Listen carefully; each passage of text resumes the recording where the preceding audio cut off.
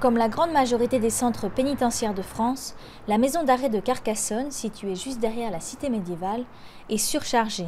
124 détenus et seulement 64 places, la maison d'arrêt ne peut refuser personne. Il faut donc gérer le flux des hommes écroués au quotidien et cela commence avec la répartition des détenus dans les cellules selon leur profil. Quand ils voient une personne, par exemple moi j'étais dans cette cellule, ils essayent de, mettre la personne qui est à peu près égale, au niveau de l'âge, au niveau de, la, on sa classe sociale un peu aussi quelque part, et pour pas mélanger trop, pour pas que, ils vont pas mettre un jeune ici de 20 ans avec moi qui en ai 47, qui va crier aux fenêtres toute la soirée. Vous voyez, donc à ça déjà ils font attention. La maison d'arrêt de Carcassonne est une petite structure, ce qui permet un suivi plus poussé des détenus.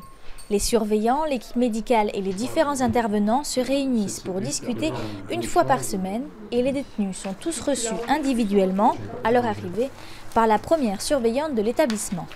On essaye d'avancer vers plus de social, plus de communication et euh, plus d'échanges. Avant, c'était euh, surveillant, ouvrir la porte, fermer la porte.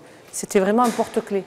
Tandis que maintenant, on passe beaucoup plus de temps à l'écoute, à la réinsertion. Les détenus sont enfermés plus de 20 heures par jour. En plus des deux heures de promenade, certains peuvent pratiquer un loisir, travailler ou suivre une formation. Sport, cours de français, d'informatique, de cuisine, peinture, lecture.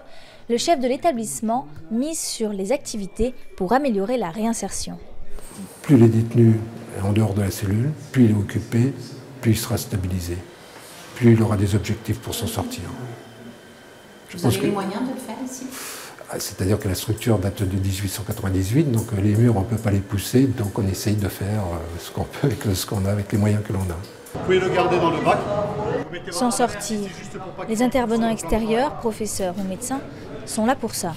Lui il vient de l'extérieur, donc il porte aucun jugement sur ce qu'on a fait ou quoi. Et lui, il est vraiment là pour nous aider à nous en sortir, pour nous montrer ce que c'est la cuisine, nous donner envie. Il vient pour qu'on se réinsère. Il vient pour nous apprendre un métier.